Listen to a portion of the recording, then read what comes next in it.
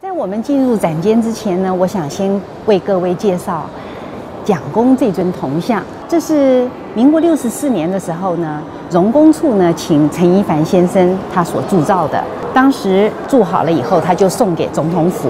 但是总统府在民国九十一年的时候转赠给我们中正纪念堂。这一尊铜像的下面呢，四面都有总统的墨宝，面对着我们的是“千秋气节久弥铸，万古精神又日新”。这个字呢，就像蒋公的人一样。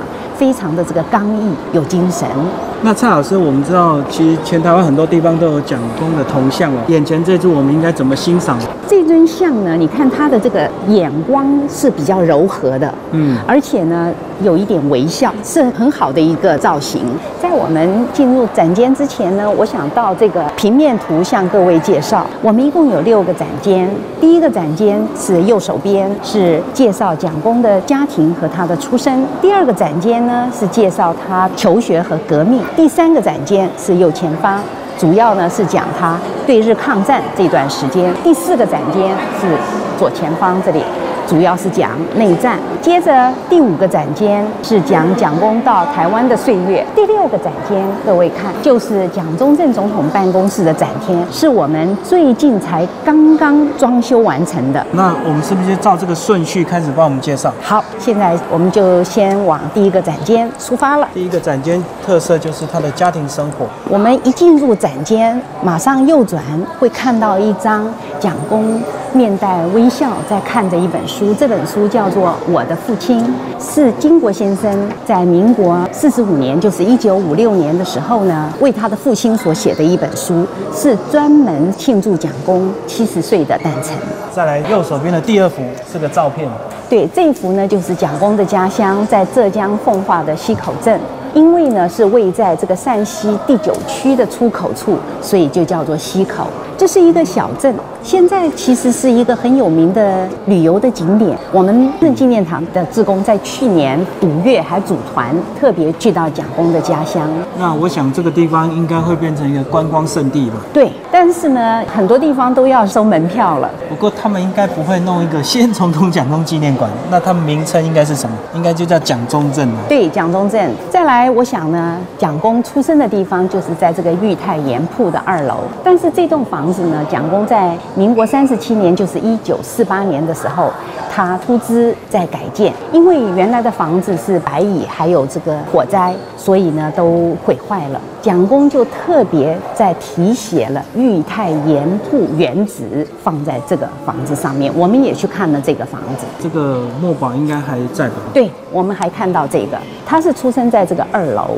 接下来，我想带主持人看一张照片，有个老太太手上抱着一个小孩。那你觉得这个是谁呢？应该是蒋中正吧？不是，这个就是金国先生，是蒋公的大儿子。然后这个老太太呢，就是蒋公的母亲王彩玉夫人。那么蒋公呢，他有两段婚姻嘛。那第一段婚姻就是奉母命哦，是。然后娶了毛福元女士，然后生下了金国先生。所以他刚好也是跨时代啊，就是刚好封建要奉母命，对。后来又自由恋爱。对他非常的孝顺啊。接下来我们看到呢，这一张是个很好的全家福。那么你知道金国先生就是后排中间，对，但是他旁边的那个像外国的女子是谁吗？她是蒋方良女士，俄国人，就是金国先生到俄国留学的时候娶了她。这对金国先生夫妇呢，一共生了四个孩子。可是当这个照片里面是三个小孩，但是第四个那个时候还没有生。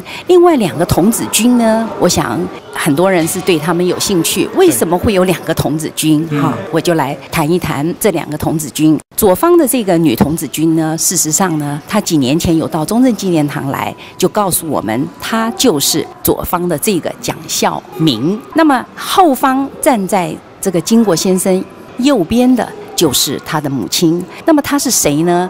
他是蒋公他哥哥的媳妇。那么这个两个童子军呢，他们或者是。刻意穿着童子军的衣服，因为蒋公其实是非常这个推行这个新式的教育，所以穿个童子军服呢是表示接受这种现代化。那么也或者是当天他们在学校里面参加了这个童子军的活动，然后来不及换装。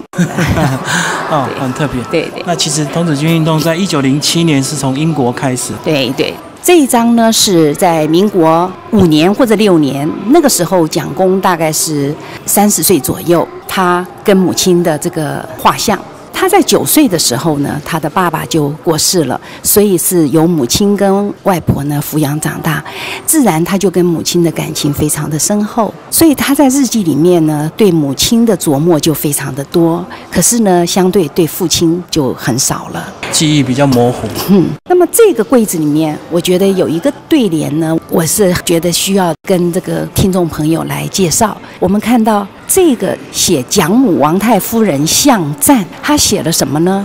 志比四明，名山苍苍；瞻比南海，大风泱泱。中有贤母，一世四方，绝身公言，为国之良。孙文敬题。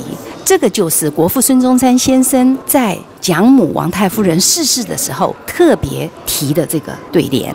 到了你这个四明，这个是四明山呢，是名山苍苍。那么从那里呢，可以看南海，你感觉是大风泱泱。这个地方呢，就有一个贤母，就是指王太夫人，她的一世四方。那么生了呢一个公子，这个颜斜玉旁在两个火，这个颜就是美的玉，它是国家之良。所以这个对联呢，除了赞美。王太夫人之外，也赞美了蒋公。接着呢，我们要看的就是蒋公和宋美龄，就是我们后来称蒋夫人的结婚照。哇，非常的西式啊！蒋公和蒋夫人是在一九二七年十二月一号在上海结婚。当时他们早上呢是在宋家举行了基督教的仪式，请了大概五十位左右的至亲好友。晚上在上海大华饭店呢。就邀请了国内名流呢，还有各国政要，大概有一千三百多个宾客，场面是非常的盛大，可以说是世纪的婚礼。嗯，对。然后他们这个婚礼呢还很特别。我们现在呢走进结婚礼堂，主持人，你通常会一进入结婚礼堂会看到什么？新郎跟新娘的什么照片？对，结婚照。但是他们呢？他们在礼台的这个中央，他们放的是孙中山先生的画像。啊啊，对，结婚不忘旧国。对，然后两边呢挂了党旗跟国旗。那么有人呢就说了，他们的婚姻呢是政治的婚姻。那也有人说他们的婚姻是没有爱的婚姻。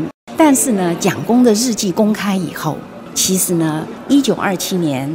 到他一九七五年过世，在这个四十八年里面，在日记里面呢，对蒋夫人的爱慕写的非常的多，同时呢，他们的夫妻的感情也非常的好。例如呢，他们在结婚二年的时候，就是一九二九年十二月一号，他的日记里面写着：结婚两年，北伐完成，妻内助之力，时居其半。一九三三年十二月一号结婚六周年的时候，他写道：“于此六年间，艰难辛苦、险阻困顿，得利于内助者，实非浅显。”在一九三六年的冬天，就是西安事变，蒋公呢在日记里面就立誓了：“一生呢，唯有宋女士为我唯一之妻。”那么一九五三年的十二月一号，他们结婚二十六周年。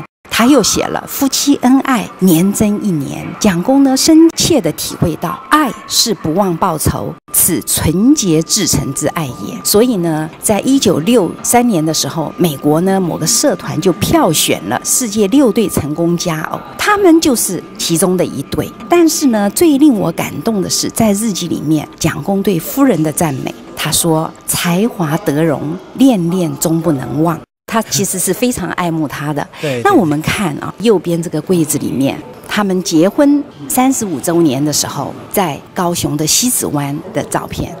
这个右边的大柜中呢，就是蒋公和夫人呢。他们在高雄西子湾庆祝结婚三十五年的照片。那么蒋公呢，跟夫人拉着这个红的彩带，多么的开心。那么这一件燕尾服是台北的汤姆西服社呢，特别依据这个结婚照所做的，不是当年他穿的那一套。哦，就是复刻版。接着我们看这个大图输出的，这个就是蒋公呢和夫人，还有金国先生和他的夫人蒋方良女士。他们坐着竹筏在这个陕西，不晓得听众朋友有没有去过后池湖？其实非常漂亮，真的很像他的家乡，因为我也去过。还有呢，在后池湖上面，我们会看到有一个竹筏，上面有一个小椅子。蒋公呢，以前就常常会去那里。我想他实在是非常思念他的故乡。接下来呢，我们介绍几样蒋公平常他的日常饮食。他呢最喜欢的是鸡丝面，然后水果最喜欢的是木瓜。为什么都是比较偏软呢？因为他很年轻的时候他就装了假牙了，哦，牙齿不好。嗯，然后呢，我们看右边这个柜子里面展示的呢是他宴客的时候的这个菜。我们看到江浙菜最有名的就是红烧狮子头。还有红烧黄鱼，另外最右边很有趣，是牛肉汤上面呢，我们在放了油条。这个他宴客这种菜色实在称不上豪华，真的，他是一个非常简朴的人啊。等一下我们会看到他一些就是居家或者是正式的衣服，你就可以了解了。接着我们就要进入第二个展间，是他求学跟革命。我们先看这个。第一章是他在十七岁的时候，在他们奉化奉禄学堂求学。这个奉禄学堂是一个比较新式的学校，所以蒋公在那里呢就学了英文呐，还有算学这些科目。不过学校的重点呢还是在教金石子集方面。后来呢，他十九岁的时候，他就到宁波的建金学堂去。他在建金学堂碰到了一个呢。非常非常好的老师，也就是这个老师就是他的启蒙老师，叫做顾青年先生。顾青年先生除了教他这个先秦诸子之外，还有理学，另外还教他《孙子兵法》，同时。顾青年先生非常的推崇孙中山先生那种救国救民的志业，所以也就是这样子，所以影响到了蒋公。就是顾青年当年曾经担任他的老师，那他非常推崇我们的国父，对，那自然就影响到蒋总统。对，所以蒋公呢就思考着要到这个国外去学习军事，后来他就选择了日本。那你知道为什么他会选择日本吗？日本当年应该是算还蛮强盛的吧，而且应该是地缘比较近。对，因为你讲的非常好，就是第一个是地缘，因为离我们中国比较近。我们也晓得，就是当时那个时代会去留学的很多都是选择日本。另外还有就是在明治维新以后，日本已经大量的西化了，在政治、经济、文化、军事各方面都是。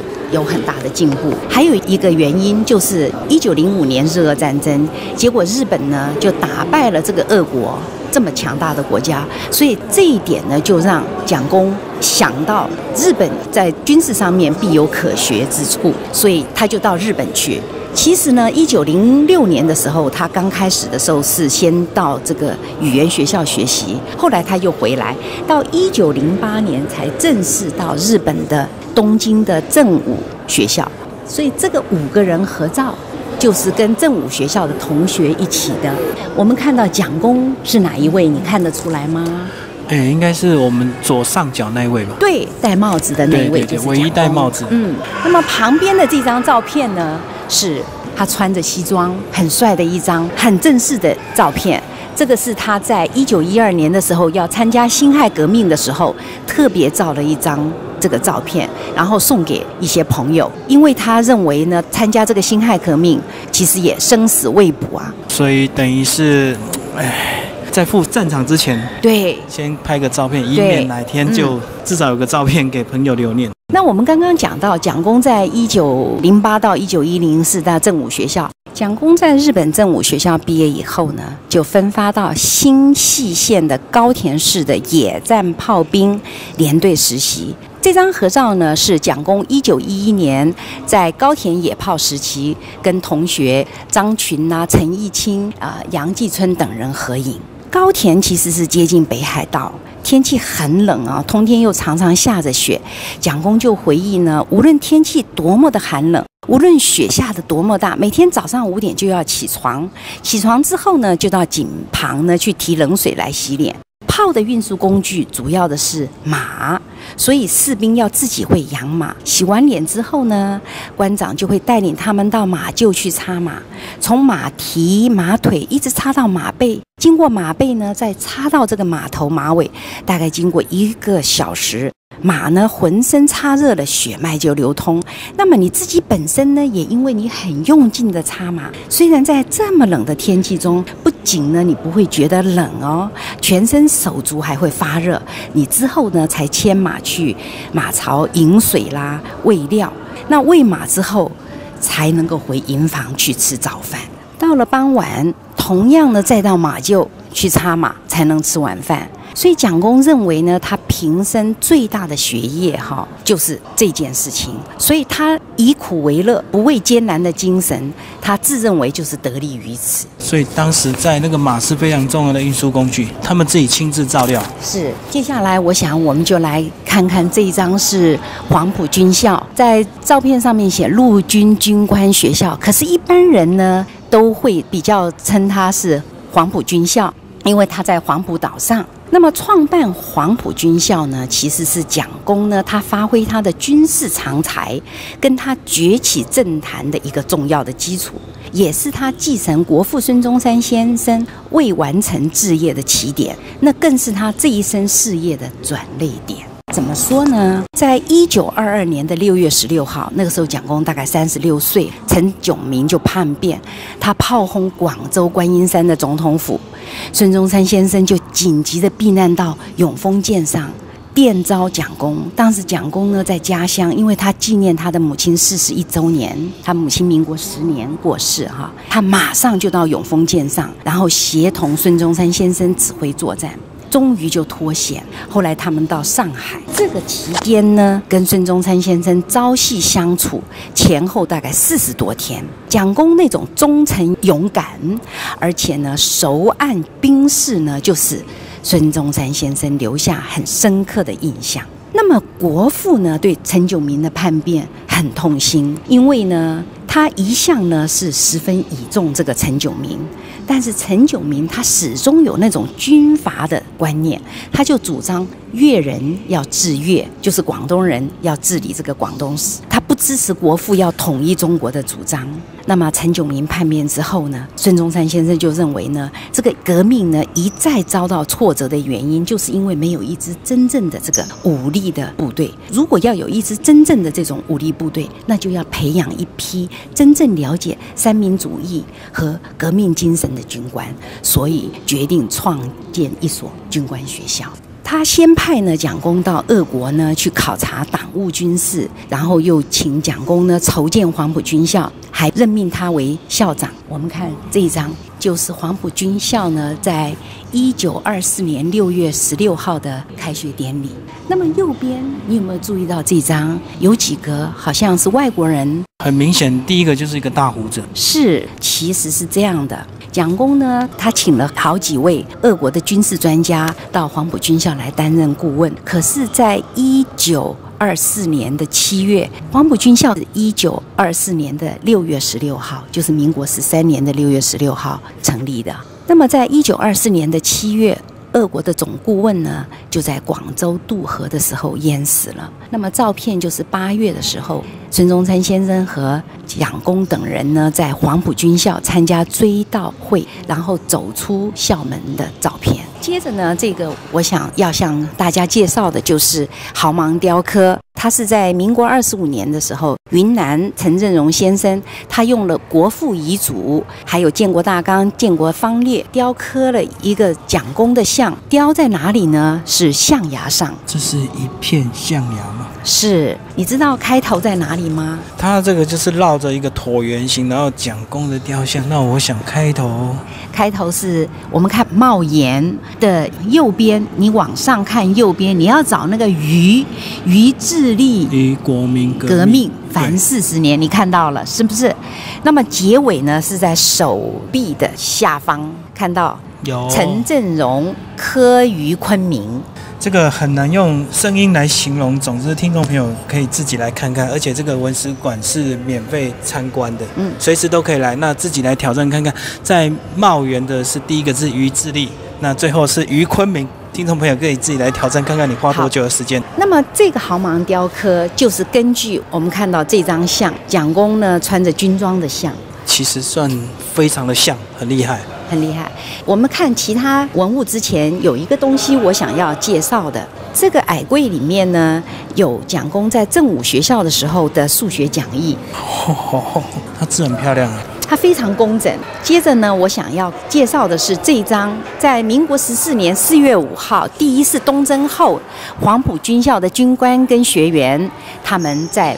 梅县合照的。那么我们在看下一张照片之前呢，我想跟各位提一提黄埔军校。它从民国十三年，就是一九二四年成立开始，一直到一九三零年九月呢，他一共招生了七期，他的毕业生呢有七千八百二十三人。他米平了商团事变，还有两次东征。就统一了广东，并且完成北伐，而完成了全国统一的这样的革命大业，在我们中华民国的历史上是写下很辉煌的篇章。那么这张照片呢，就是民国十四年一九二五年的四月十五号，他们第一次东征的时候，这个黄埔军校的军官跟学员呢，在广东梅县所拍摄的。就第一次东征结束后，拍一个大合照。接着我们看这张呢，是民国十七年北伐成功，十月十号呢，蒋公他是以国民政府主席的身份阅兵。这张照片是曾经呢登上《时代》杂志的封面的。这里有一张呢是蒋公的戎装画像，是张继义先生在民国七十年所画的。这个是民国三十二年九月十三号，国民政府呢中央。五届的十一全会呢，选蒋公呢为国民政府的主席。那么他十月十号宣誓就职，这幅画就是根据他当天就职的时候留影所画的。上面的横扫千军是值得为大家介绍的。我们晓得蒋公呢，他有两段婚姻嘛。对。那么第一段婚姻我刚刚提过是奉母命，嗯，跟毛福梅女士结婚的。那蒋公的母亲王太夫人在民国十年过世之后呢，蒋公呢就跟毛福梅离婚了。但是其实呢，他还是让毛福梅住在封号房，就是蒋公故居的二楼。那么蒋公在大概民国十一年的时候。在孙中山先生就是国父的家里见到了宋美龄，那个时候就留下很深刻的印象。可是呢，他其实是在民国十六年（一九二七年）才开始追求宋美龄女士，然后就认定她呢是他未来的另一半。那么在那一年的一九二七年的十月，他特别到日本。去向宋美龄女士的母亲呢提亲。当时她住在我们看到这张照片，住在神户有马温泉的旅馆。蒋公那时候四十一岁，一般人常常是流传着说，当时蒋公呢他在提亲的时候，宋美龄的母亲呢就。提了三个条件，那第一个条件呢是说他要跟其他的女人都切断关系。那第二个条件，他希望他再回到中国去领导北伐，因为那个时候蒋公正好是下野。那第三个条件呢是希望他成为基督徒。那么蒋公呢，他当然是没问题。不过呢，他是告诉他的母亲说，第三个条件他还需要时间，所以呢。宋美龄的母亲呢，就送了他一本圣经。那么蒋公之后呢，很努力的读圣经，然后也常常祷告。所以后来呢，他也在宋家呢就受洗成为基督徒。所以这个是民间传说，没有证实过。对，民间传说。但是蒋公其实在日记里面有写非常清楚，他怎么会变成基督徒。事实上，他是对圣经呢有非常仔细的研读，然后也常常很虔诚的祷告。那么蒋公呢？他回到这个旅馆的时候呢，他就写下了“横扫千军”这个四个字，送给当时的旅馆主人，叫做真田羽三之助。那么这个主人的儿子呢，叫做真田辽呢，他为了感念蒋公呢，在蒋公一百岁的时候，他带到台湾来，然后现在呢，就让我们展示在这里，就回赠给馆方珍藏。对，那我想这个当初他回到旅馆会写下这个横扫千军，应该就表示说当初提亲是很顺利，是，然后心情很愉快。对对对，所以呢，有人又在那里解读了，说呢，因为。追求宋美龄的男生啊很多，所以呢，他非常有把握，因为他已经获得了他母亲的首肯了嘛，所以呢，他非常高兴，他可以把其他的那些男士都打败，所以横扫千军。那么还有一个解读呢，就是说他再回到中国去，他也可以领导北伐，横扫千军。哦，所以两种可能，也许都有。对对对，那个千军就是别的男的追求者。然后呢，这一套是蒋公的军装，军装。那么很多人呢就会看着这个在猜蒋公呢到底他身高多少？因为呢我的年代呢都以为蒋公大概一百八十公分以上，觉得他好高。可是当我第一次看到这一套军服的时候，我才晓得其实他应该就是中等身材。你知道他多高吗？其实看这个裤长，应该大概就是标准，大概一百七左右吧。哎，好厉害，没有错。他当时要到那个日本正武学校的时候，他的身高是一百六十九点四公分，没错的，算是也还好了，中等中等身材。对对。那可能照片我们加上我们对他的崇拜，就无形中觉得他非常的高大英武。对，这里有几个勋章，我想也要介绍，尤其是这个彩玉大勋章，你看到没有？彩玉大勋章是中华民国呢最高的荣誉勋章，只有国家的元首还有致赠给友邦元首。它中间是国徽，然后旁边有二十个珍珠。我们现在来到中间这个大的橱柜，里面有我们国父孙中山先生的墨宝，上面写着“届时无地传记属书”。主持人，这什么意思？你知道吗？呃，应该是写给蒋介石的吧。这个呢，其实是蒋公呢，他希望国父写这几个字，所以写的哪几个字呢？就是养天地正气，法古今完人。接着呢，我想就要跟各位来谈一谈西安事变。柜子里呢有两封信，一封呢是在西安事变的时候，蒋夫人呢写给蒋公的，字里行间呢充分的显露出他对蒋公这个安危的关切。另外一封是蒋公的回信，告诉他呢千万不要到西安来，他抱着随时能够为国牺牲的决心。那么，到底西安事变是怎么一回事呢？其实呢，在一九三六年的时候，蒋公就派张学良呢参与江西剿共的工作，而且把西北的剿共重任也交给他。但是张学良受到共产党的影响，附和着他们的口号，就是要停止内战，一致抗日。可是当时国民政府的政策是攘外必先安内，对，因此张学良跟蒋公他们意见不合，争执很大。而蒋公那个时候在江西呢视察剿共的进度，在一九三六年的十二月十二日清晨，张学良跟杨虎城就合谋，居然发动兵变，那么就将当时叫做蒋委员长就监禁于华清池，而且胁迫他要同意八项主张，例如改组政府、停止内战、释放爱国分子、召开救国会议等等，中共。最初还要求要把这个蒋公送到延安，要接受公审。那么南京的国民政府呢，就展开营救的行动，一切呢是确保呢蒋公的安全为前提。当时我们的夫人跟宋子文，就是他的哥哥呢，就冒险去西安。另外一方面，你知道莫斯科他们得到了这个蒋公被拘禁的这个消息，他权衡之下呢，就做出了一个指令，就是要保证。蒋介石的生命安全。那么中共呢，也派了周恩来呢到西安来协助调停，三方面进行协商，事变呢最后就终于和平落幕。在一九三六年的十二月二十五号，张学良他就亲自送蒋公呢回到南京。好，我们现在去看那张照片。这就是当时国民政府主席林森呢，他到机场迎接的照片。哦，就是被送回来的时候。对，是张学良亲自他亲送蒋公夫妇返回南京的照片。那如果当年呢，这个张学良啊，把蒋公抓掉之后，如果真的送到延安之后之后，那肯定就回不来，回不来。那会发生什么事情？我想他们中共呢，就是要处决他了。对对对。不过这个很多事情就是上天有安排。那么就在那个时候，你看看莫斯科的共产党。他们也介入，其实最终他还是为了他自己，就是为了他的利益。西安事变呢，其实带来的影响呢非常的大，它就使国民政府呢就中断了剿共的最后一集，对不对？那么也完全改变了国民党和共产党的命运了。所以呢，蒋公之后呢，在日记里面每天都是两个字开头：血耻。血耻，确实，当年真的就差最后那一点点，剿匪就成功了。是，接着呢，我想要为大家来谈一谈对日抗战这一段。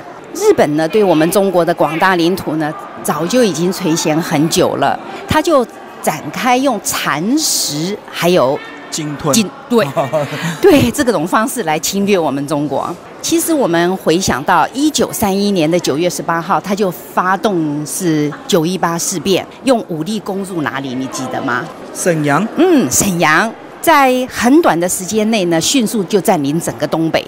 其实之前山东已经有一大半被占领了。隔年就是一九三二年的一二八，日军又在上海发动了一二八事变，驻守当地的国军就奋勇的反击，坚持了一个多月。英法美啊，这些列强也干预，其实就是为了他们的利益。对，最后就签订中日淞沪停战协定。可是我们要谈的就是这个卢沟桥事变，它是在一九三七年的几月几号？你记得吗？当然是七七路。哎，对。他在河北宛平县的西北的卢沟桥附近进行日军夜间的演习，收队的时候发现少了一名士兵了，他就怀疑是我们中国军队把他俘虏，所以强行邀请要派兵哈进入宛平搜查，结果遭到当时驻防的国军的吉新文团长呢来拒绝，日军结果就在八号的清晨四点四十五分就向宛平县展开猛烈的攻击。所以，我们守军当然就立刻还击，这就是卢沟桥事变。事变发生的时候，蒋公正好在江西组织庐山军官训练团的训练，还有庐山谈话会的准备工作。所以接到报告的时候呢，他立刻就派军队北上，同时认为呢。这个就是政府要宣布对日采取战或者是和的时机。那么七月的十七号，蒋公呢就对参加谈话会的学者呢，还有社会名流，他就郑重的说明，政府对事变的处理态度是希望和平而不求苟安，准备应战而绝不求战。但是只要战事一开，主持人，你记得你以前有考过吗？有。国中常常背，叫做“地无分东西南北，人不分男女老幼，皆有守土抗战之责”。而且哈，后面你还记得吗？临到最后关头，便只有拼全民族的生命，以救国家生存。最后关头一到，我们只有牺牲到底，抗战到底。可是日本军阀，你觉得他有没有体认到蒋公的决心？还没有，没有，他继续军事行动。所以北平跟天津就相继就沦陷了，所以中国已经到了最后关头。所以七月三十一号，蒋公就对中外宣告了全面抗战正式开始。这一年，蒋公五十一岁。那么抗战的目的呢？其实最重要的呢，是为了我们中华民族的。生存跟发展，同时也是为了世界的和平跟安全。但是英美等国呢，其实不愿意得罪日本，而且避免跟日本呢发生摩擦，他就严守中立法，也停止对我们中国出售军事物资跟援助。其实当时只有想你都没想到哪一个国家，他对我们呢有援助？该不会是俄国吧？哎呀，就是苏联，对。他表示道义上的同情呢，他就提供了经济跟军事上的支持。但是总体来说，中国得到的援助其实很少，所以前四年可以说是独立抗战。可是，在一九四一年的十二月八号，日本就偷袭珍珠港，那个是美国呢在太平洋的军事基地了。美国于是就开始对日宣战。因此呢，中国才得到美国的协助。可是，一九四二年五月，日本呢就切断了滇缅公路呢，这个是暂时中国最后一条的陆上交通线，也切断了海上的运输线。那么怎么办呢？中国、美国呢就被迫在印度东北的阿萨姆邦跟我们中国的云南昆明呢开辟一条。运送战略物资的空中补给线就称为驼峰航线。那么等一下我会带你到驼峰航线那里去看那个驼峰石。在这里，首先我们看这张照片，就是蒋公呢在庐山的时候，就是宣布要抗战到底的决心。另外呢，我们看到这张呢是在一九四三年，就是民国三十二年的十二月十号，他在四川铜梁对。青年军训话，那么希望呢响应一寸山河一寸血，十万青年十万军的号召。然后左上角我们看到那个就是卢沟桥，卢沟桥我刚刚提到是在河北的宛平宛平县，其实距离北京呢大概就是二十分钟车车程。卢沟桥呢是在金代的时候，一一八二年建的。到现在有八百多年的历史喽。明清两代呢，其实多次重修，它的桥总共有十一个桥孔，是属于那种拱形的，所以它高度宽度就不相等，两边小，向中间呢逐渐增大，造型非常的优美。在金代的时候就列为京师八景之一。那么现在呢，卢沟晓月呢仍然是北京呢。这个非常受到游客喜欢去游玩的地方，在元代。有一个意大利人到我们中国来，你记得那个人是谁？元代该不会是马可波罗吧？没错，就是马可波罗，他就到这里来游历。结果呢，他在游记中呢赞美这座桥建筑非常壮观，非常的好看，是西方人都知道的。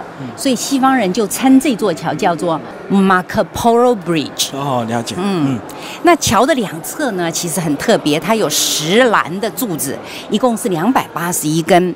每根的柱子上呢，有从金代、元代、明清呢历代雕刻的狮子，神态呢都不同，尤其小狮子，或者是藏起来，或者露出来，这个千变万化，所以呢是雕刻艺术上的极致。所以每个朝代的都会把狮子加上去，嗯，所以才有那么朝代的狮子在。就是，所以一共有多少只？我觉得到现在我也不是很清楚，所以听众朋友呢，可以去卢沟桥的时候再算一算。那么我们就来谈这个为什么叫做驼峰航线？因为呢，这条航线它是要飞越喜马拉雅山脉，受到山峰的高度跟当时的飞机是螺旋桨，所以飞机的性能的限制，所以就要贴着山峰来飞行。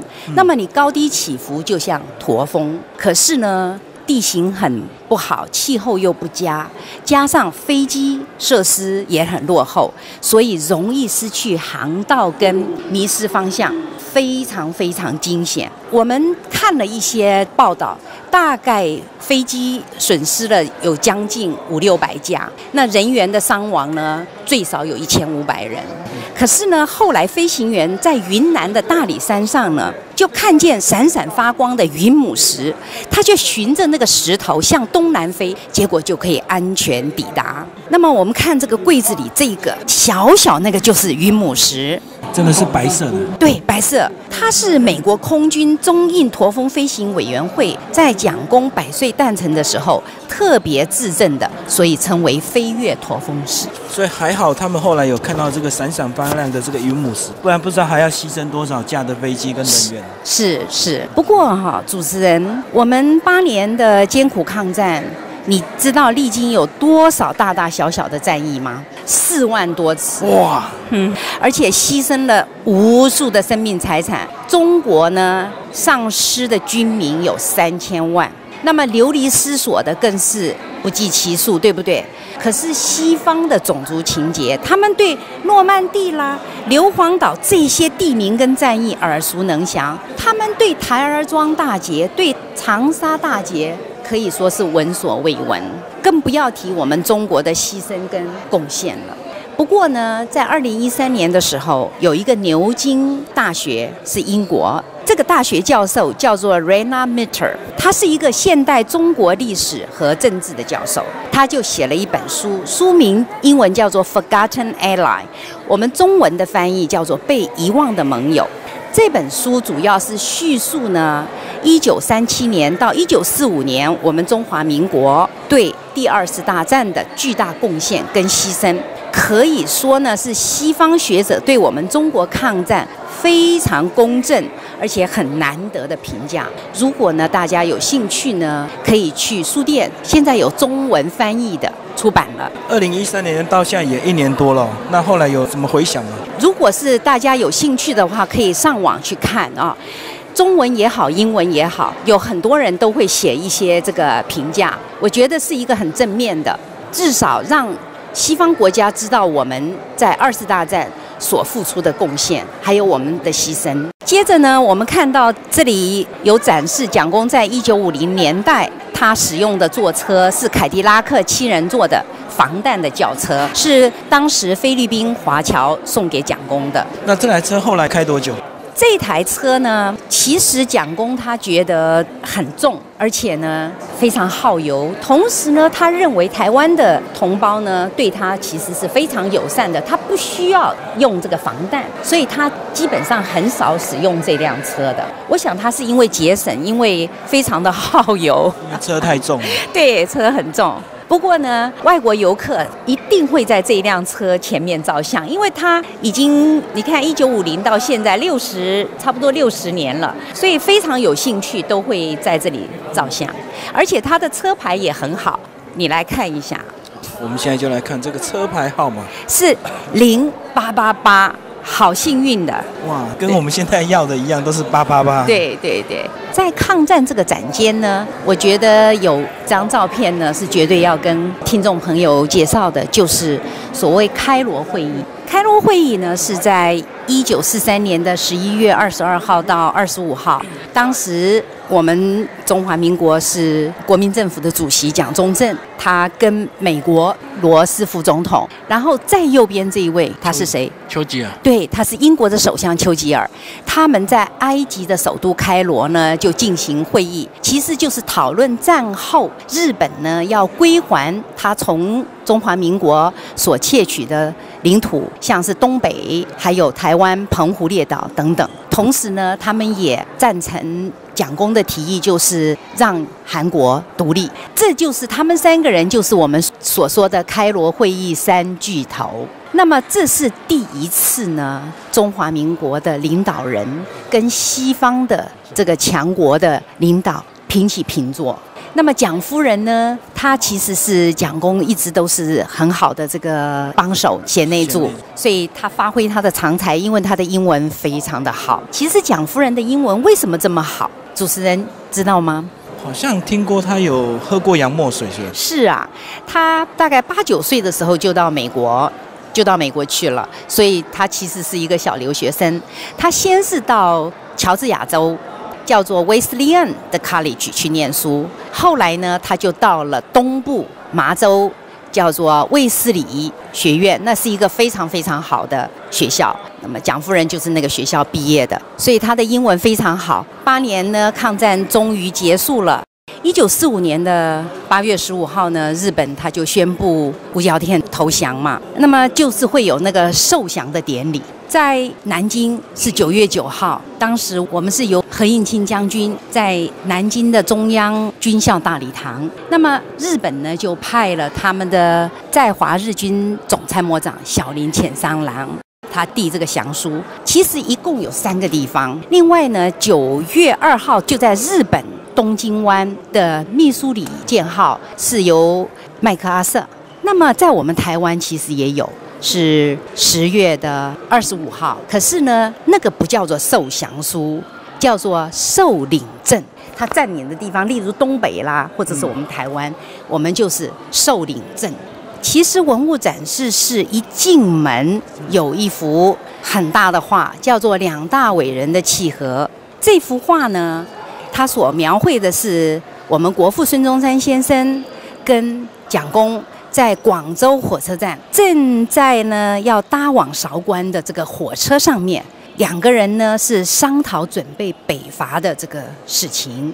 画家徐九龄先生呢，他就模拟了他们两个人合影所画出来的。这个其实徐九龄先生呢，在画这幅画的时候相当不容易，因为呢他年纪很大，而且他的腿不好，所以呢是用梯子了。就是他还要爬楼梯画，对，就是非常辛苦把它画出来。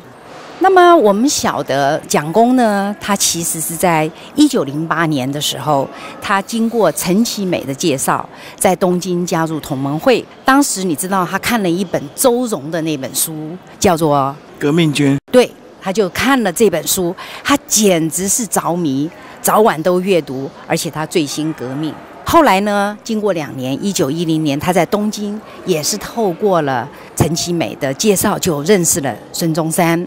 就给孙中山呢留下了很好的印象。那么孙中山先生就赞许蒋中正呢是不可多得的革命人才。到了一九一三年的时候呢，蒋公呢在上海他就讨伐袁世凯，所以就跟孙中山先生开始有很多的接触。那么其实接触最多应该就是我们在展间有提到的陈炯明叛变，永丰舰上。那个时候呢，他呢因为护卫的这个孙中山先生脱险嘛，所以就更加深了孙中山先生对他的这个信任跟依赖。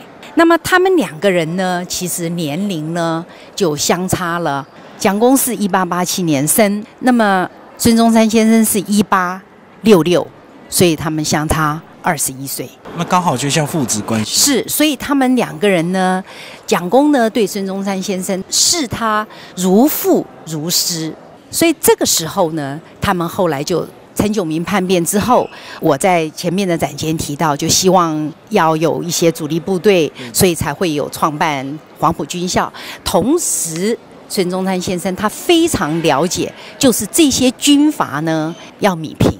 全国才能够统一，所以就是讨论呢要北伐的事情。接下来我们这个展间是内战，那你知道对日抗战呢庞大的军费开支，还有战争会带来的什么破坏？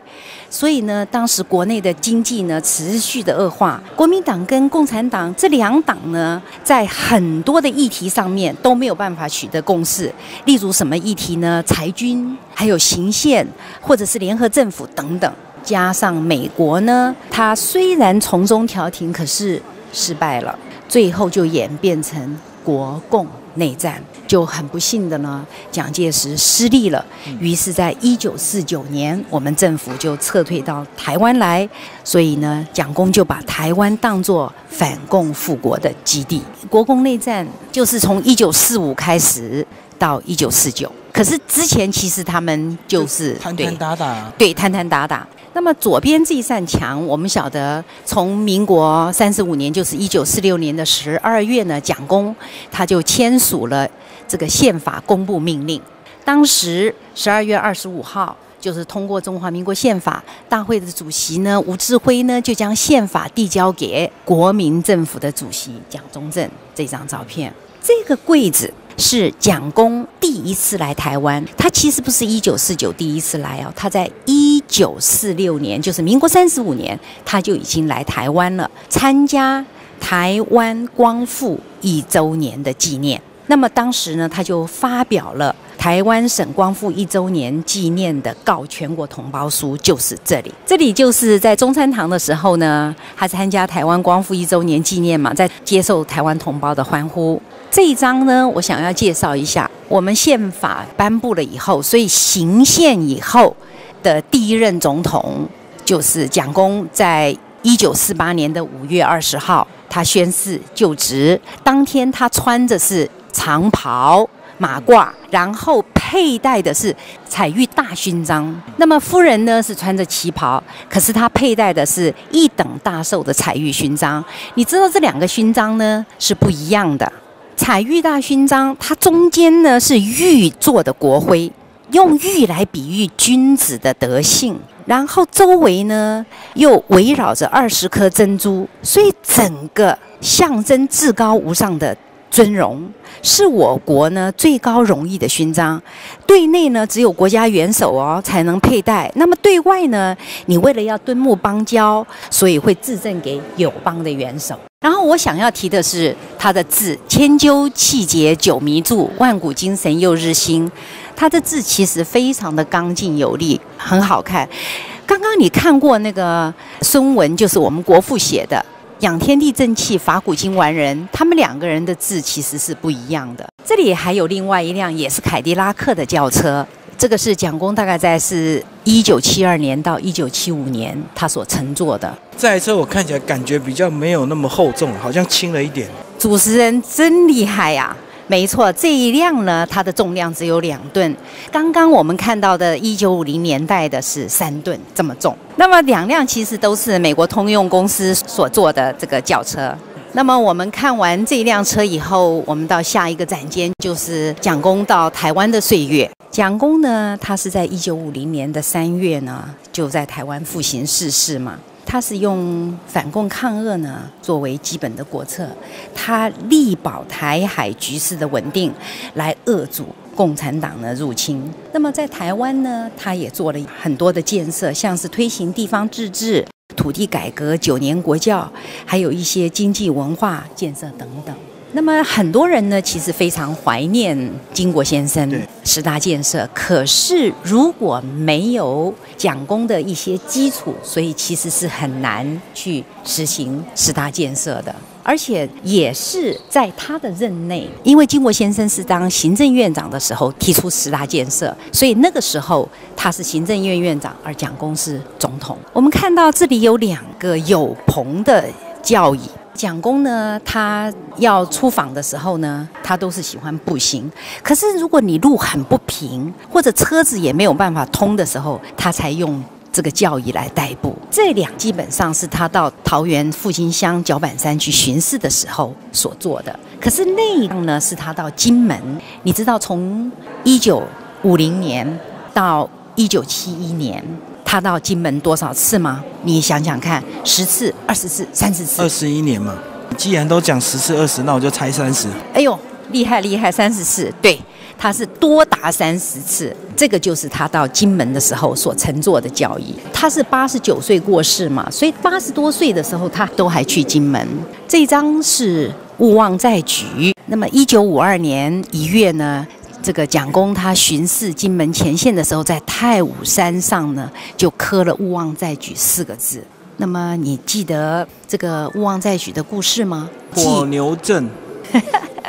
史记呢，那个田丹传里面就提到，战国时代呢，齐国呢，他被燕国呢攻下了七十二个城池嘛，最后就剩下即墨跟莒城。然后齐国的田丹呢，他就在这两个城池呢，纠合军民，忍辱负重，然后经过五年的艰苦岁月，最后就把敌人驱逐，收复失地。所以我们可以想象，蒋公内心深处是非常渴望能够早早反攻大陆的。那么我们看这个西罗大桥，其实，在日治时代呢，西罗大桥呢，大概一九四一年就已经差不多有雏形完成了。可是因为战争，当时还是战争嘛，所以钢材呢就要挪作他用，就终止了建设。一直到一九五二年的五月呢，我们接受美元才再度开工。所以这个是。一九五三年西罗大桥通车的时候，蒋公呢跟金国先生呢，他们就巡视，然后步行通过全桥。这个时候是亚洲的第一大桥。当时呢，人可以走在上面，对不对？还有一般的轿车可以通行，同时火车，我们看到铁轨，火车也可以通行。接着，我们这里有三个柜子，很大的柜子嘛。我们先看第一个柜子，这里有一张很大的照片，是蒋公在阅读。下面呢是放着一些文具，还有他喜欢的书，同时还有一个他看书的架子。这是呢他在四明山。他非常喜欢的地方，有好几次下野呢，他都来这边。他要思考呢下一步的人生方向。据说王阳明呢曾在这边讲学。那么蒋公非常推崇王阳明。他回忆啊，在日本留学的时候，他看到很多日本人呢，不论在火车上、电车上，或者是轮渡上，都在阅读王阳明有一本书，叫做《传习录》。特别是海军或者是陆军的军官呢，对于阳明哲学更是手不释卷。那后来呢，他就到书店去，把尽他的所有的财力，就买了很多关于阳明学说的书籍呢，就不断的阅读研究。而且他发现日本人呢，他们强大呢，其实是得力于王阳明几个学说，像致良知、即知即行这样的结果。所以他一生呢，力行不懈，非常的就是阐扬知行合一、致良知，是不遗余力。他一九四九年呢，六十三岁嘛，他到台湾，他住在台北近郊的草山。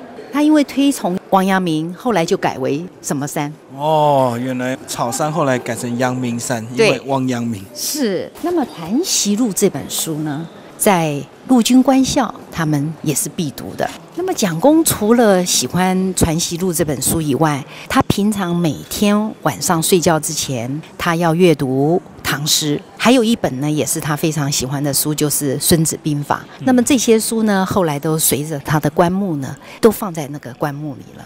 中间这个柜子有一张照片呢，是蒋公和夫人在他们的官邸呢野炊，因为他是用炭火。对，那你知道他正在做什么吗？应该炒什么东西啊？对他正在炒饭吧？他喜欢鸡油炒饭。对他喜欢鸡油炒饭。那我们要介绍下一个柜子之前。我想要让主持人看这个圆形的柜，这里有几本美国《时代》杂志，封面呢是蒋公还有蒋夫人。其实从一九二七年哈北伐期间开始，蒋公或者是蒋夫人，他们同时或者是分别呢，都成为这个《时代》杂志封面的人物，一共有十一次之多。哇，嗯，第一次你注意到这一本，一九三三年。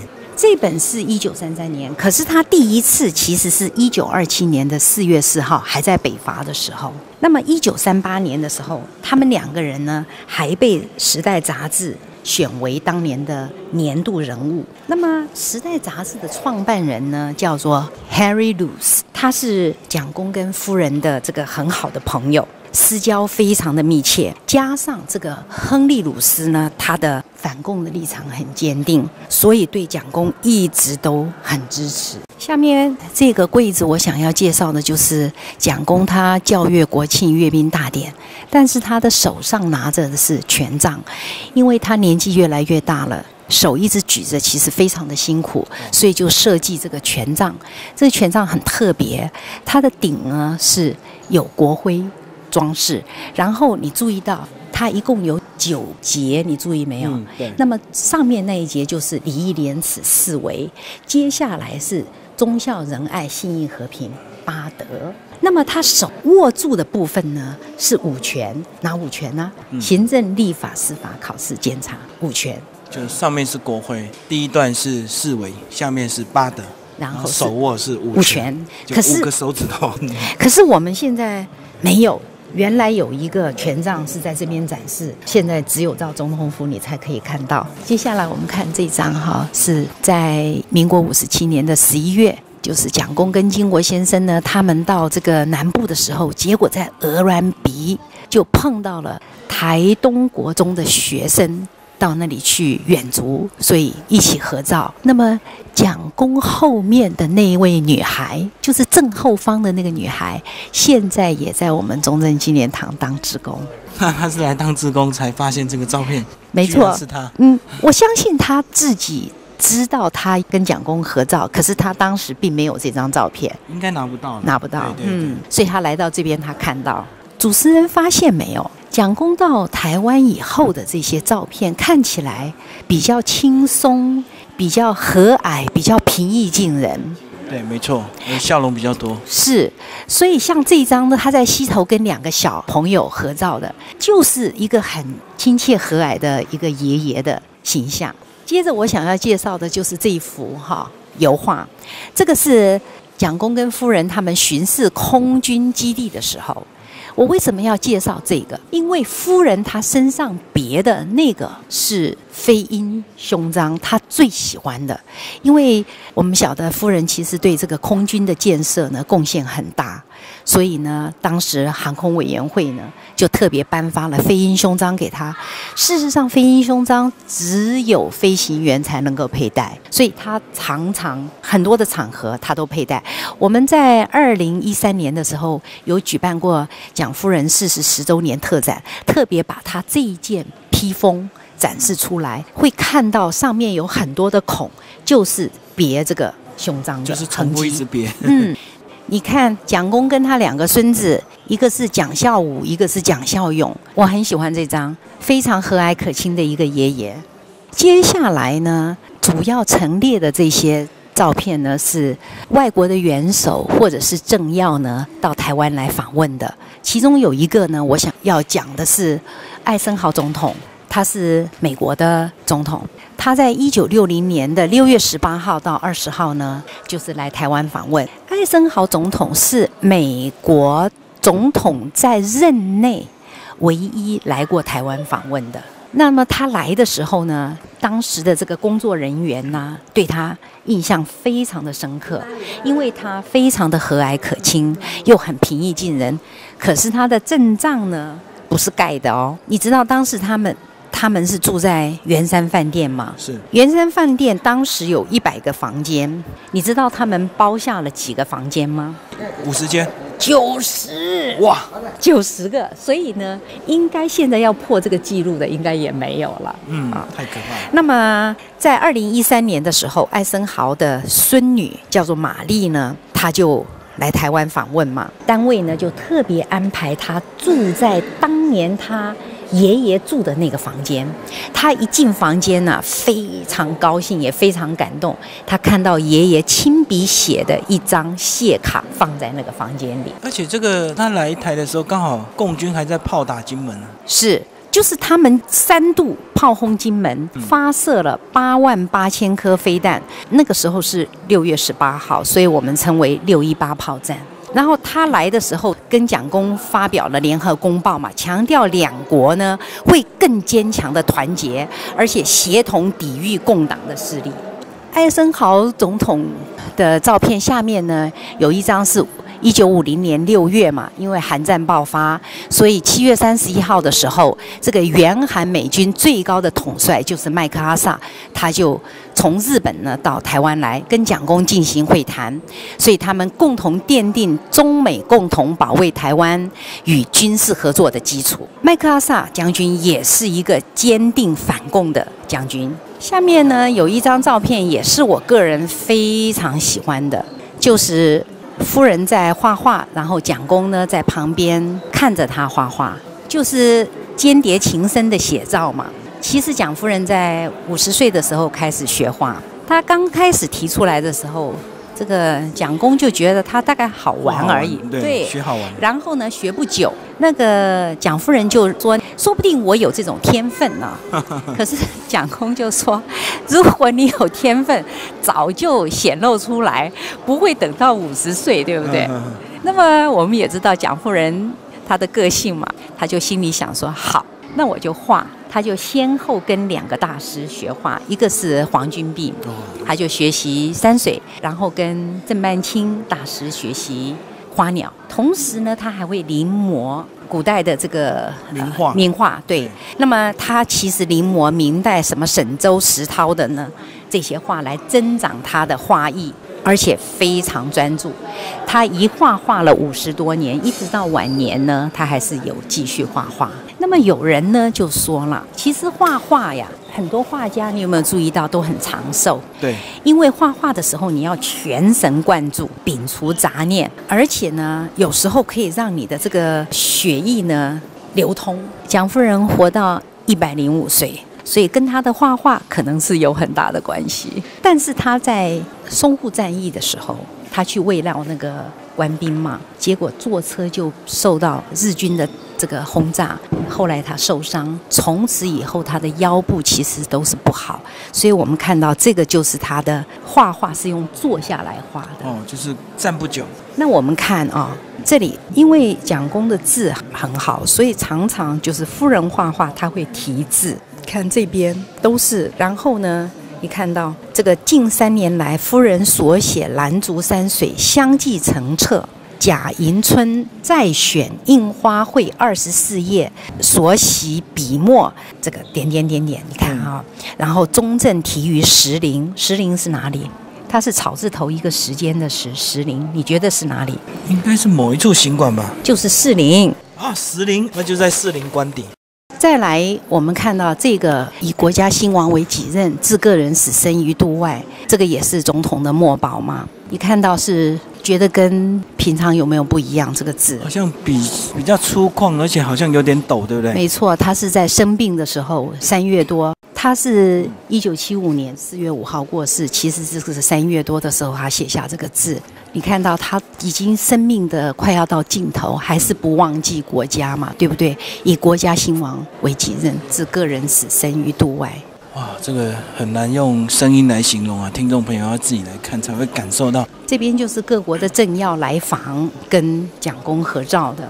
其中我们看到，在一九六六年的时候，韩国的总统叫做朴正熙，他就到台湾来访问。朴正熙就是现在的韩国总统朴槿惠的爸爸。那么我们看到是雷根，当时他是加州的州长。嗯哼，对，他在。一九七一年来参加国庆，这个是慈湖，蒋公最后他的灵寝就站错在这个大溪慈湖，慈湖大概离台北一个钟头多。然后这张画呢是复兴乡脚板山有一个思清亭，金国先生常常跟蒋公呢坐在这里，蒋公的灵柩现在是暂时安放在大溪的慈湖，因为他。在要逝世之前，他有交代过，希望以后他要埋在南京，可是是共产政权消灭。现在我们来到这个展间是蒋中正总统办公室，它是刚刚才装修完成的哦，非常新，嗯，非常新。有两个入口，一个就是从台湾岁月那个展间。过来，另外一个是可以从我们进门的过来。大厅左转就进。对，这整个展厅呢是模拟总统府。现在等于我们就进入总统府。对，那么这个地方就是应接室。其实，在总统府，里面你是看不到这个办公室的，你在应接室的时候等待，就是等待他的接见啦。墙壁这个展柜呢，承接各界送给蒋中正总统的礼品，每一件作品的工艺呢都非常的精美，同时也可以见证到国际友人呢跟蒋公他深厚的友谊。还有我们国内人士对他的这种崇高的敬意，我想先从这一个来讲。这个玉屏风呢，它是一九五三年的时候香港的工商考察团送给蒋中正总统的，两面都有雕刻。然后呢，这个路形的雕刻是日本人叫做中山正信呢，他送给蒋中正总统的。鹿呢，在日本人的眼中是一种神兽。那我们中国人呢，觉得它是跟那个福禄寿的禄，它是一种禄官位。那么铜鼎，这个是一九五六年的时候，当时的国防部长于大为，他呈现给我们总统的那个时候，他是七十岁生日。你知道鼎啊？它在商朝跟周朝那个时代呢，它是一种在祭祀中最重要的礼器，它象征着国家的统治权。你听过那个楚庄王问鼎这句“问鼎天下”吗？就是这个故事。那么它也象征着国家的信物，像下注九鼎。另外这个呢，也是很值得介绍的。这是一个澎湖的文石，把它雕刻成我们。中国的地图。那么，在一九六三年的时候，当时的这个澎湖澎防部的司令官叫做尹俊呐，他在总统七字近期，就是七十七岁的时候送的。你知道，全世界呢只有两个地方产这个文石，一个就是这个澎湖，另外一个地方是意大利。那么我们澎湖产的呢是比较好。你看到这个，它的这个颜色还带点黄，所以这个很纯的。然后有“山河并寿”这四个字，但是现在已经禁止开采了。这个是母狼呢，它育婴的一个雕像。这个是意大利的国会议员，叫做 Angelo Cherica 他送给蒋公的。这是一个复制品。嗯。那么原来的那个青铜的塑像呢，是存在罗马的一个卡比托利欧博物馆。那关于罗马的诞生，其实呢有一个很神秘的传奇，主持人听过没有？该不会跟母狼育婴这两个小孩有关系吧？是。那么据说。就是当时有个国家叫做阿尔巴隆加，这个大概是西元前的十二世纪左右了。他有个国王呢，叫做穆尼特。那他的女儿呢，跟战神就是那个 Mars 呢，就生了一对双胞胎儿子，一个叫做 Romulus，我们翻成罗穆拉斯；另外一个叫做 Remus，我们叫做瑞马斯。他是跟战神生的，所以这两个兄弟就带了一点神性，对不对？嗯。可是后来那个国王呢，他就被驱逐。穆尼特国王被驱逐，所以新王呢就很担心这两个兄弟会成为威胁嘛，所以呢就把他们呢丢到这个台伯河，要把他淹死。可是呢人算不如天算，两个孩子顺流而下的时候就被一只母狼救起来了。这个母狼你看到没有？就用它的这个乳汁，嗯，来喂这两兄弟。后来还有传说呢，是。一个牧羊人跟他的妻子就收养这两个兄弟呢，就把他抚育成人了。那兄弟成年以后呢，就建立了他们自己的城市，就是罗马。但是呢，要争夺谁才是罗马真正的统治者呢？这个 Romulus 他就杀死了弟弟，就是 Remus。所以罗马这个称呼就是从这个 Romulus 而来的。其实你现在到罗马去，到处都可以看到母狼呢，跟那个双胞胎兄弟的这种雕像。你现在看的那几个纪念品，你有没有感觉东西方文化的差异？嗯，有啊。我们中国人大概不会送人家狼，因为你会觉得它狼心狗肺，是不好的，好像又很凶猛又很狡诈，对不对？那我们东方人喜欢鹿嘛，对不对？你看到它代表的古代这种官吏的这种凤脊，那么你猜猜看？蒋公最喜欢那几个里面，你觉得他最喜欢哪一个？那肯定是澎湖文石啦。你觉得是澎湖文石？国土。好，我告诉你哈，一些幕僚，还有一些侍卫呢，根据他们观察，他最常把玩跟端详的，就是那个母狼育婴那个雕像。而这次整修工作人员呐，才发现非常非常重。那你进来，你有没有吓一跳？有啊。你为什么吓一跳？很朴素，然后都是书。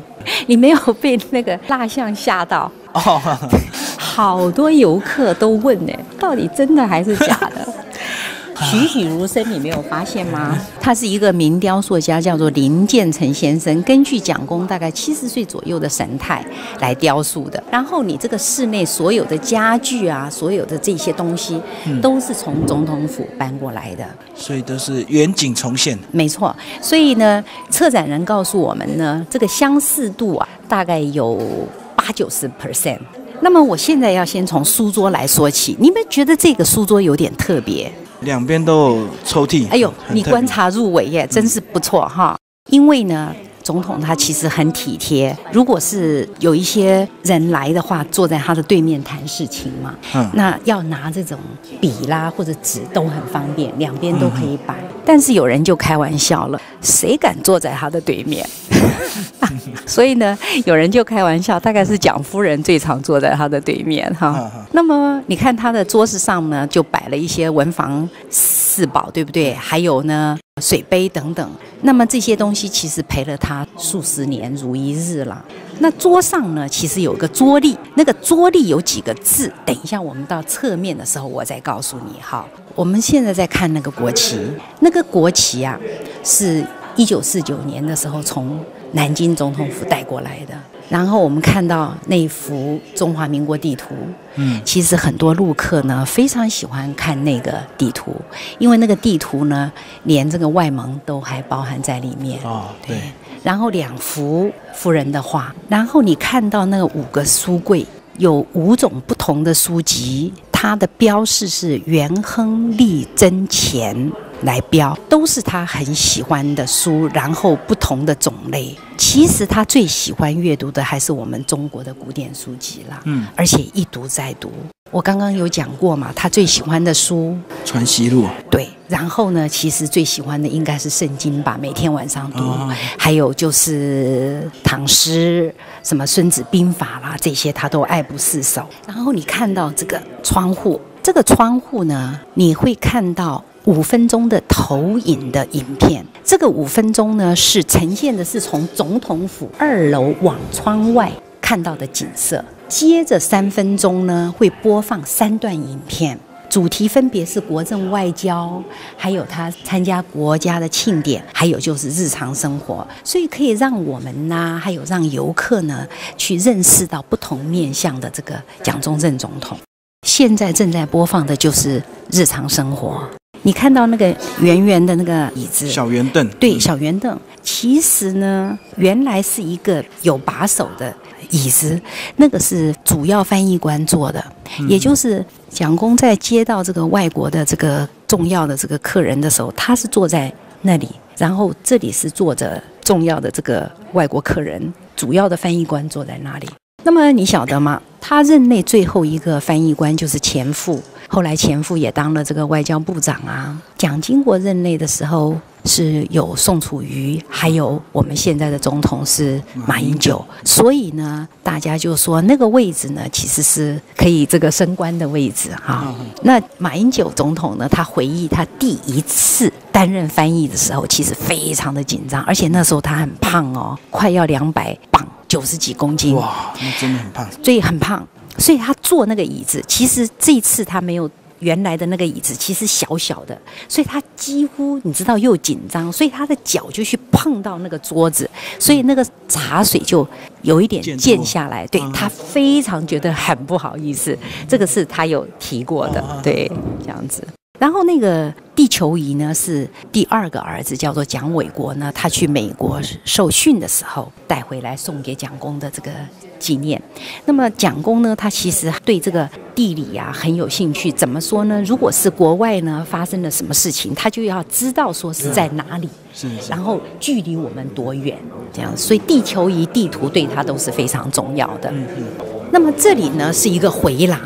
我们看到一个大图输出的这个照片，你好像是时光隧道了，这是回到了一九六零年的五月二十号，当时是我们中华民国总统跟副总统就任的日子。对，嗯，副总统就是陈诚，然后这个是以前那个时候是国大代表，他们选举出来在中山堂之后。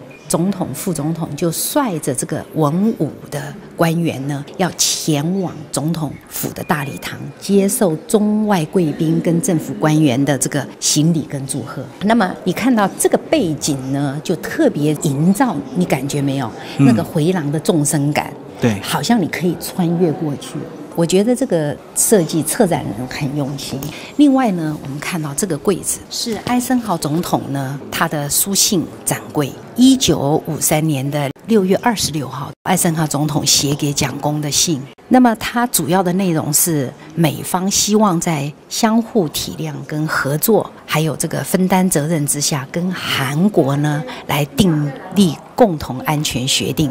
因为当时韩战呢就是快要结束了嘛。那中美两国总统呢，有很多封信函都是讨论战后呢亚洲相关的局势发展。这个是总统他所用的这个裁信的刀。这裁信刀很一般呢，很朴素，也没有很特别的那种。没有。然后你看到 White House 哈，这个白宫，然后这里有一个荧幕啊。这边正播放一段影片，就在回来。它是播放，就是这个一些文物的介绍啦。这些还有这个都是国史馆它所提供的，那么就可以让我们更进一步的了解。其实真正的回廊是这样穿过去，对不对？哈，没错。那么这些也是都是国史馆他提供给这个中正纪念堂的这个蒋中正总统办公室这个历年来的这个影像资料，所以非常的珍贵。我们会发现哦，办公室的摆设有时候会有改变，例如这个办公桌有时候会斜放。哦，这样子对。然后呢，有时候正摆，还有国旗摆放的位置也会有不一样。另外呢，蒋夫人的画作啦、地图等等也会变动。可是其实呢，我们最重要的呢，是我们看这些照片，让我们了解呢，总统在办公室他其实是处理国内外大事啦。像是这张，这张是一九五二年的时候哈，他在办公室啊，跟党国元老吴志辉他们等人呢畅谈。然后，一九五二年这一章，他签署中日和平条约。然后呢，一九五三年的时候，他接近美国这个副总统尼克森。但是呢，尼克森后来就他是第一个美国的总统到中国大陆访问，所以总统之后呢，他在日记里面呢都称他“你丑”，小丑的丑，就是两头讨好这样子。对，然后呢，这一张。他是在一九五四年的时候，他是行宪的第二任总统嘛，所以在办公室跟金国先生一起合影。我们到这边来，我们现在在侧面，我想请主持人看那个桌立的那个四个字，你怎么念？那四个字很特别，静静淡逸哦。对，好浅的字，看不太清楚。它到底是什么意思？它是成语吗？没听过哈。其实，在南京总统府的办公室有一个横幅，就是这个四个字。那么它的意思呢，就是一种从容自信、一种淡泊专注的意思，是国父孙中山先生给我们蒋中正总统的一种嘱咐呢，跟嘱托。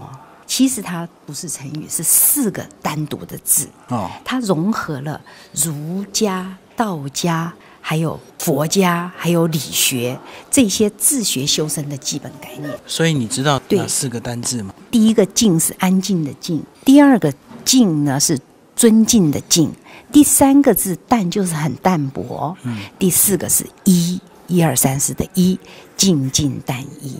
其实我们到蒋中正总统办公室的展厅呢，如果你从这个大厅大厅进来，其实向左马上就可以看到哈。这个入口处的上方呢，有外国的元首，还有国际友人跟报章杂志在蒋中正总统他逝世后对他的评价。第一句呢是美国前总统福特呢他所说的，他说了蒋中正总统具有坚定正直的人格特质、巨大勇气和深切的政治信念。其实，在一九七五年的四月五号，蒋公那天逝世，对不对？其实中美的关系呢是处于低潮，因为呢我们已经退出联合国，但是美国呢仍然派当时的副总统叫做洛克菲勒呢到台湾来吊唁，可见呢美国对蒋公呢还是很重视的。第二句呢是日本前首相佐藤荣作，他说了，在历史激流中亲身尝尽人生最大的苦难，这种经验。培养了他宽大的气度和丰富深厚的人道精神。佐藤荣作呢，他是蒋公的友人，在外交上其实一直是支持我国的，而且也是最后一位访华的日本首相。第三句，它是出自一九七五年四月十四号所出版的《时代》杂志，有一篇悼念蒋中正总统的文章，策展人呢就特别截取了其中这么一句。这位战士身材消瘦，充满抱负，一生征战南北。虽然最后未遂其志，但他呢依其信念来塑造历史。那篇文章呢，如果听众朋友有机会呢，可以到国家图书馆去查，就会发现到他们呢评论蒋中正总统呢对二十世纪的影响，其实远远超过对中国的影响。铜像大厅呢是最吸引游客的地方。除了你瞻仰蒋公铜像之外，还能欣赏礼宾交接跟操枪的精彩表演。同时，你只要走出那个铜门呐，你在广大的平台往自由广场那个方向望啊，简直就是中正纪念堂最美的视野。好，现在我们看这个大厅的面积呢，它的长宽呢各四十八公尺，它是一个正方形。那么蒋公的铜像，它的高度是六点三米，厚度呢是零点六到一点二公分，因为它是青铜，所以很重，二十一点二五公吨。那什么人铸造的？你还记得吗？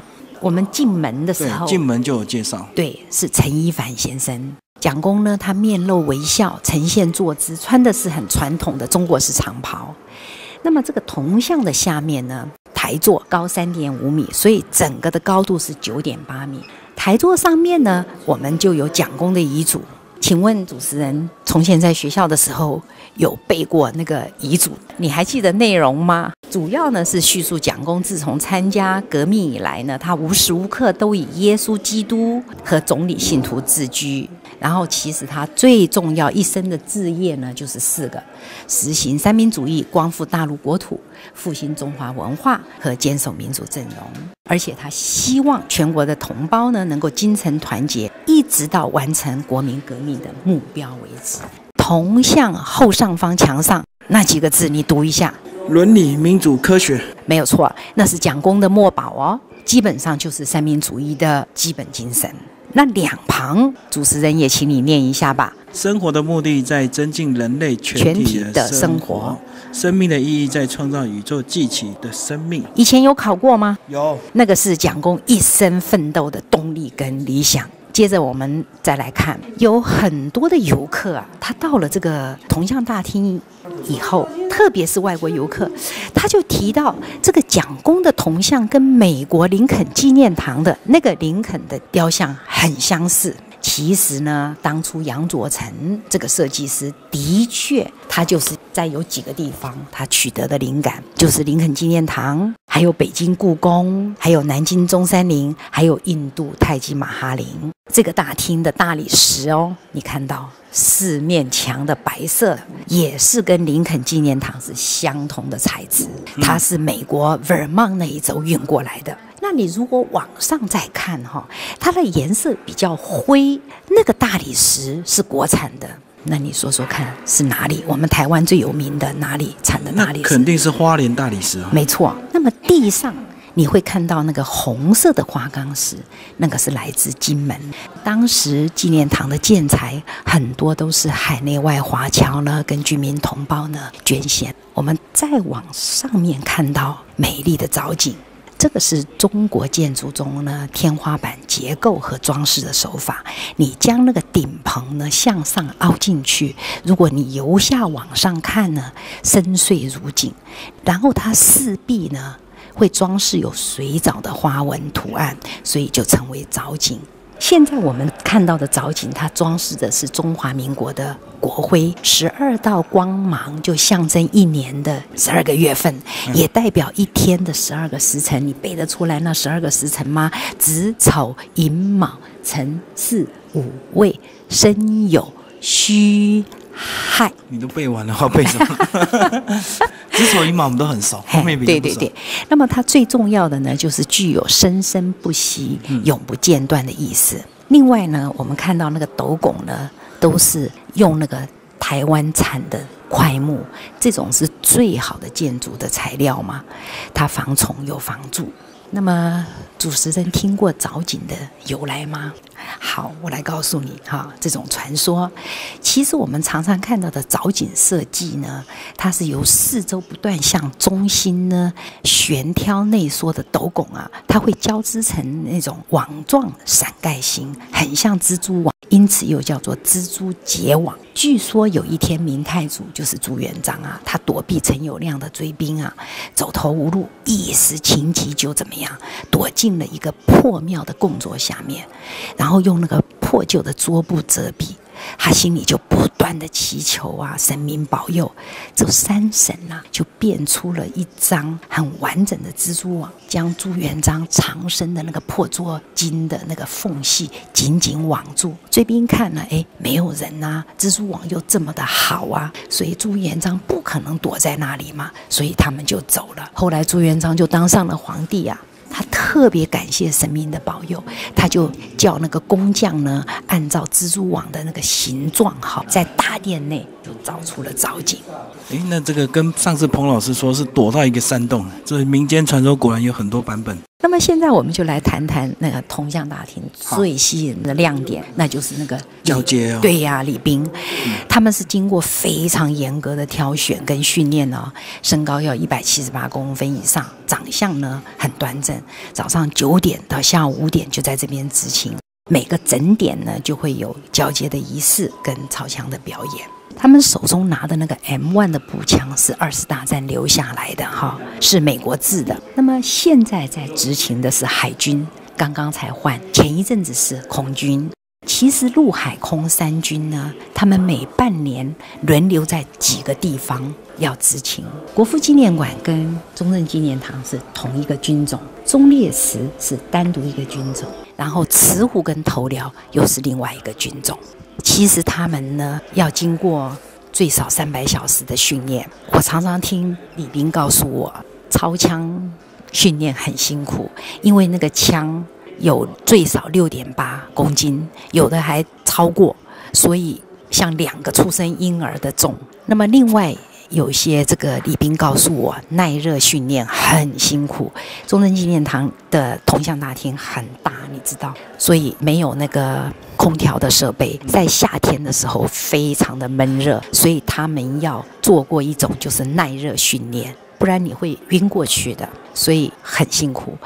但是另外有些呢，李斌告诉我，他不能动，对不对？然后眼睛也不能眨，所以这个训练也非常辛苦。有很多游客以为他们是假的，常常问我到底他们是真的还是假的。